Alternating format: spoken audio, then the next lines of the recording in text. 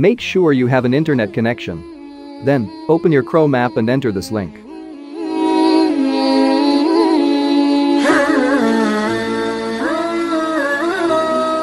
At the bottom, there are languages that you can choose from.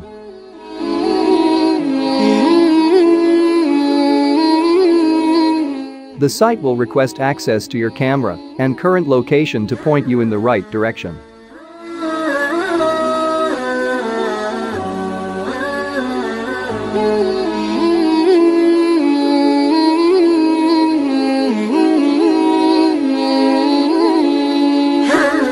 To find the Qibla, turn on your camera first.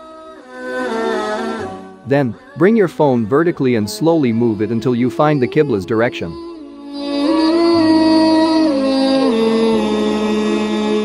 When this notification pop up, finally you are now facing the Qibla.